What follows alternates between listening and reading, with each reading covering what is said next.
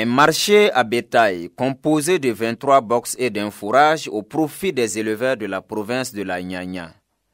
Une infrastructure réalisée par le programme d'appui au développement des économies locales, PADEL, dans le village de Leoura, localité située à une vingtaine de kilomètres de la ville de Bogandé. La construction de cette infrastructure, ça nous plaît beaucoup parce que c'est une chose que les populations de la zone adhèrent.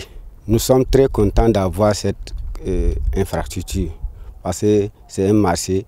le marché là-même, ça va nous rendre beaucoup et ça développe notre village.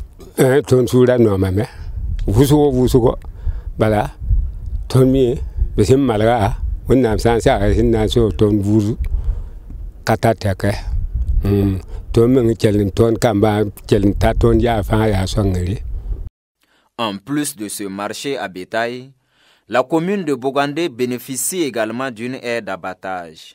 Cette infrastructure permettra sans doute aux bouchers de travailler dans de meilleures conditions. Bala nan sõngame tɩ nemdã yɩ sõm koa bala b sõnga tõnd n ning fo raase sõngame tɩ tõnd paand ku-tĩng tɩ n zaala woto tõnd na n ru abatoar wã n ku tɩ nemdã yɩ sõma tɩ nebã rɩ tɩ yaa rɩ-sõngo sõnga tõndo Pour ce qui est de l'aire d'abattage, euh, il faut reconnaître que nous avions une aire euh, vraiment dépassée, qui était d'ailleurs mal située puisque dans un bas-fond. Aujourd'hui, avec la réalisation de la nouvelle aire d'abattage, euh, nous allons désormais pratiquer l'inspection des viandes dans un cadre vraiment plus amélioré et les bouchers aussi vont exercer leur travail dans de meilleures conditions. On a un forage à côté, la manipulation des viandes doit se faire dans de bonnes conditions. Pour le maire de la commune, ces infrastructures auront un impact positif sur les populations de la localité au regard de leur importance. En termes de contribution, quand on regarde d'abord pour l'aide d'abattage, ça permet de recadrer un peu le système d'abattage au niveau de la ville de Bogandé.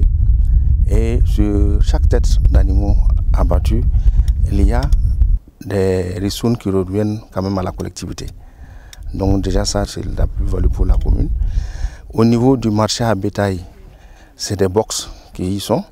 Et ces box-là, on les met en location pour des usagers, pour des acteurs de marché, et qui doivent reverser quelque chose à la collectivité.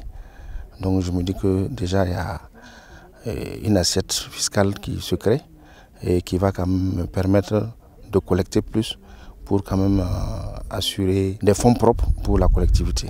Autre lieu, autre réalisation. À Nemtenga, dans la commune de Diabo, c'est un site maraîcher qui est en cours de construction. ka na na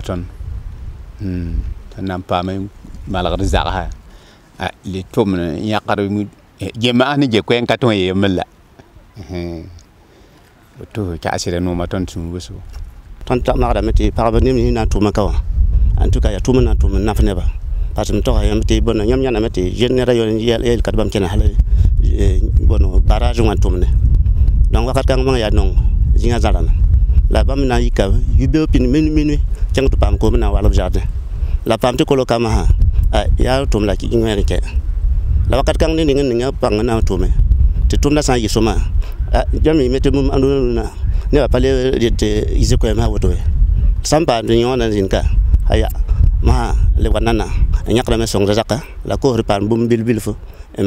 yelle La réalisation de ces infrastructures s'inscrit dans la composante 2 du programme d'appui au développement des économies locales qui est de doter toutes les régions du Burkina Faso en infrastructures socio-économiques. Pour la région de l'Est, plusieurs types d'infrastructures sont exécutés ou en cours de réalisation pour un montant d'environ 10 milliards de francs CFA.